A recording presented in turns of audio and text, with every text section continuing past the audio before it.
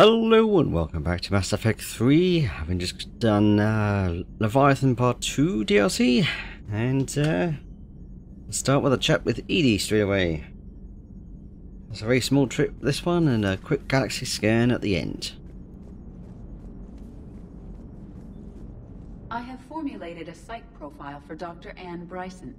She is not used to death, but she may be quite capable under stress. So a Reaper goes rogue and kills one of its own. And that's what we're looking at here, right? Bryson really was onto something big. Amazing. A lot of smart people in this galaxy. I'm a lucky guy to work with so many of them. I can handle the Reapers that run around, or the ones that crawl, or the ones that shuffle menacingly toward you, but it's the flying ones that give me the creeps. Greetings, Commander. What is it with you and rescuing scientists from dig sites that have been overrun by hostile forces? If you decide to help her take down the Shadow Broker, I'm going to be jealous and somewhat concerned. If Leviathan is a defector, a reaper that broke away from the others, then it is also a traitor. And traitors are never to be trusted, even among the enemy. If they can betray their own kind, imagine what they can do to you. Do you ever feel awkward being the only Turian on the ship? I don't know. Should I? I just mean not having anyone else like you around. Mm, doesn't seem to bother Liara. But she can eat their food.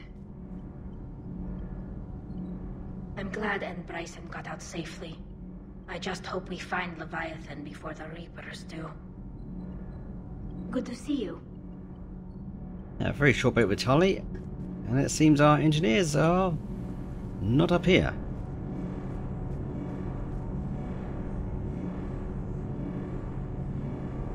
I don't think I've ever been in there to hear the hum.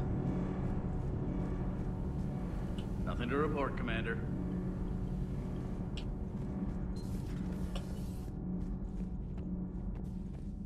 Let's see if we can uh,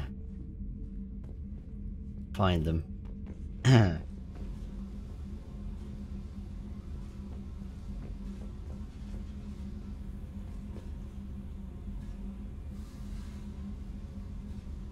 it's a shame we can't zoom there. Oh, hello, Commander. We were just uh, double checking the thermal ducts. I'm sure you were. Carry on. Commander? Shepard. Why not? I'm sorry, I'm so embarrassed. I forgot they say something afterwards. Whoops.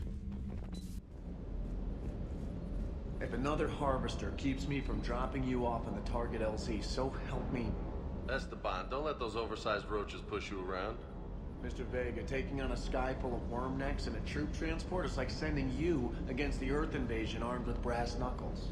What? You don't think I could do it? Doesn't hurt to go over the weapon roster one more time. I don't know the scientific measurement of a shitload, but that seemed like a shitload of harvesters. 300 years it took to take back the quarry Quarian homeworld. I sure as hell hope it doesn't take that long for us. I'm ready to see Earth again, Shepard. And I'm ready to do some planet scanning. Are you? We're gonna do the fancy tricks again. Alright, let's get on with this. Time with the rest of this system.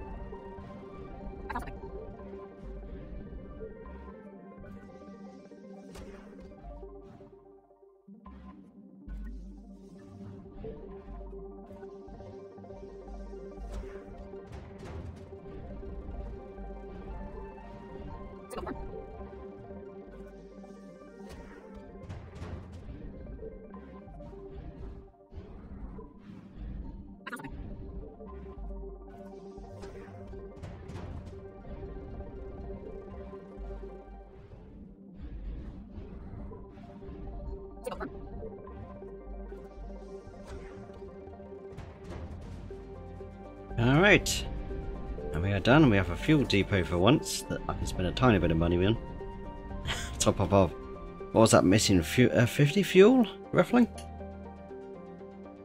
And yes, we are here to do uh, the fuel reactors mission next time. Uh, do do do do. Where is it? Oh, right there. We got that at some point during the uh, Rannoch campaign. I think it was after completing uh, the Dreadnought, wasn't it? Or was it after the Perseus Veil? I can't remember which one that was now, but uh, never mind. I'll see you next time for that.